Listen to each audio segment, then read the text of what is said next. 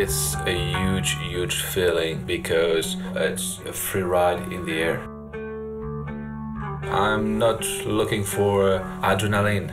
I'm just looking for a nice line, a high level technique. When you are at 4,000 meters or more, you are in fresh snow, you are in the rocks, you are very, very small, you are playing with the nature. It's just a contact with a very, very impressive place. I'm Arnaud Longobardi. I live in uh, downtown of Chamonix and I practice speed flying and speed riding. Speed riding, it's a ski with a parachute. A three-dimension sport because uh, it's not only ski, it's um, flying in the air, making spin, barrel, you can fly on the back, you can make spin, so it's totally a free ride in the air. The first skill you need is to be good in freeride ski. If you are not good in ski, you are busy with the legs, with your chest, with your arm. First of all, you have to be very, very good in ski. And after, you have to manage well your canopy. One day I was skiing and I saw a guy, maybe one of the first guy uh, practicing the speed flying 10 years ago and I saw him and jump a cliff and uh, he disappeared under the cliff. And I saw that and I said wow that's amazing. Uh, the first time I practiced speed flying it was mixed between a very very nice feeling and thriller a very big thriller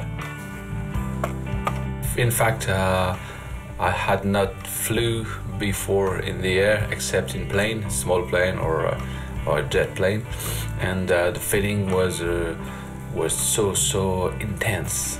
We can make a, a, nice landing here with a lot of speed. Then to practice uh, speed riding I need some equipment uh, ski but free ride ski I need a harness and I need a canopy parachute or speed flying wing a helmet for sure, and a camera and an iPod too. Uh, most important conditions are a steep path with very, very good snow, maybe 30 centimeters fresh snow, and um, very, very sunny place, and a good music too.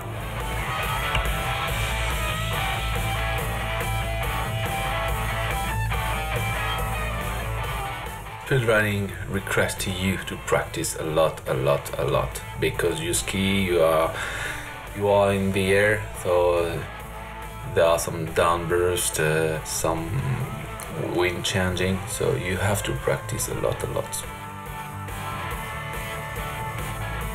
Chamonix is uh, maybe one of the best places to practice speed riding.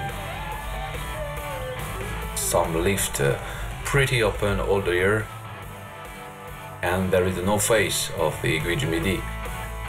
A nice, nice place.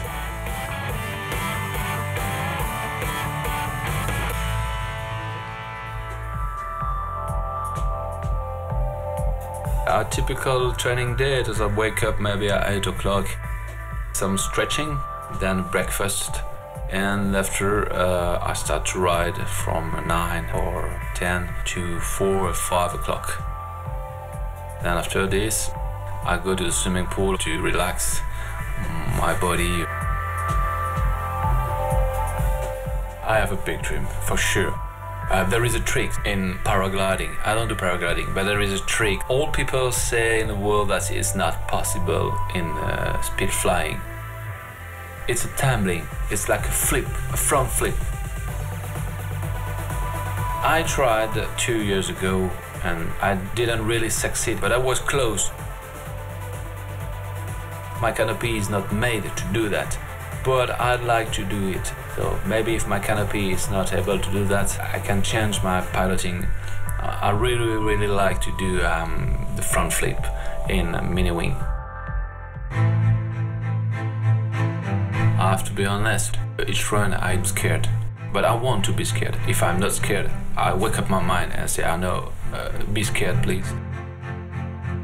because that gave me uh, some um, information uh, that opened my mind, my reactivity, my eyes, my blood pressure, everything. For instance, if I take a line, I'm gonna do two or three times. The first one I am afraid because I don't have tested, and the second one is better. So the second one I can go harder or steeper or faster.